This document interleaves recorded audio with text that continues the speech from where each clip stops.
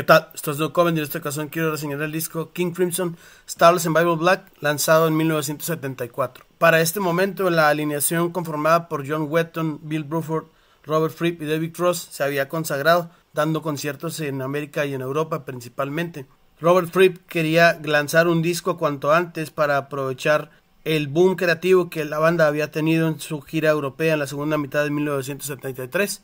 Entonces fue que cuando entran al estudio ya tenían grabada la mayor parte de las canciones, ya que estuvieron componiendo y presentando música nueva en vivo.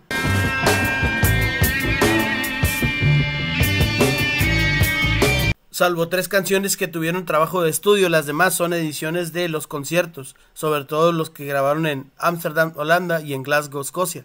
Es el segundo de tres discos lanzados por esta alineación de los setentas y quizás sea el menos apreciado de todos, ya que Larkstone, Synaspic y Red tienen mejor apreciación entre los fanáticos y la crítica, pero eso no desmerece la calidad del trabajo, no porque sea un compuesto de música en vivo con grabaciones en estudio.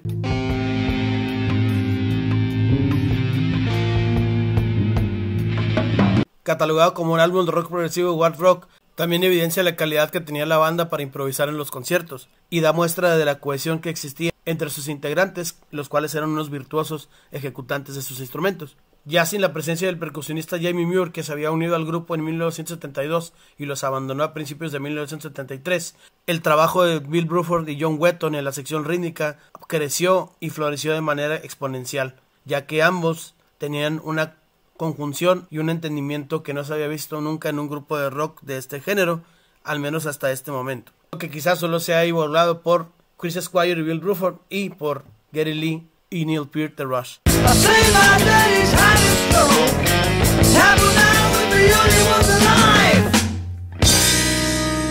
Cross queda muy bien en el ensamble como violinista y ejecutante del melotron. En las improvisaciones que tocaba en el jazz no desmerece su participación. Mientras que Robert Fripp, como un líder absoluto del grupo y el ejecutante de la guitarra, siendo también el director musical, lleva al grupo a nuevos derroteros y a gran calidad en las composiciones, como se puede ver en The Night Watch, Fracture y The Great Deceiver.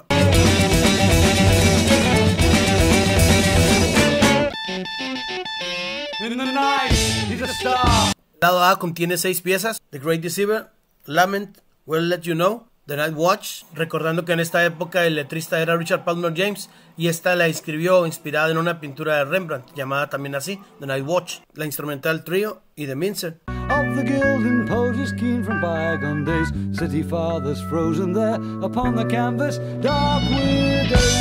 Y el lado 2 solamente tiene dos piezas largas, Starless and Bible Black que inspiraría la letra de Stales del disco Red, y la grandiosa y virtuosa Fracture, que se ha dicho muchas veces que es la pieza más difícil de tocar de King Crimson y quizás una de las más complicadas para cualquier guitarrista.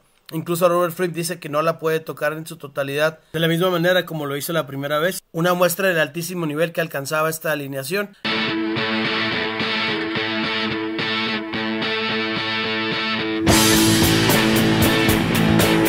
ya que en los conciertos del año 2016 al 2019 con la última alineación de King Crimson, ya como septeto y octeto, aún siendo tres bateristas no podían tocar las partes que Bill Bruford logró ejecutar y también la sección rítmica con Tony Levin emula de manera correcta pero jamás supera lo que hizo John Wetton.